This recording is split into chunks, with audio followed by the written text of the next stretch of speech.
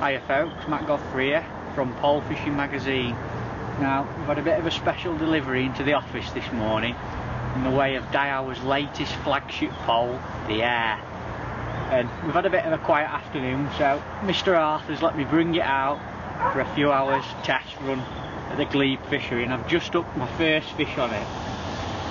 It's an absolutely fantastic piece of kit and it's been an absolute pleasure to plumb up and I've just shipped straight out with a pellet on the hook hooked one straight away. So, so, so sharp. Probably one of the best poles I've ever felt if I'm, if I'm honest.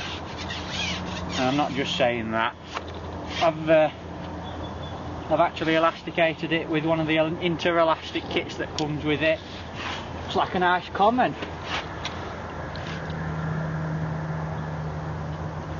Here we go.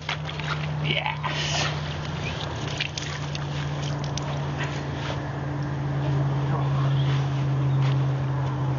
There she is.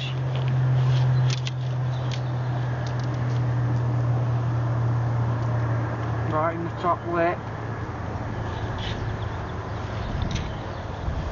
There we go. My first fish on the Daiwa Air. Let's get back out there, see if there's another.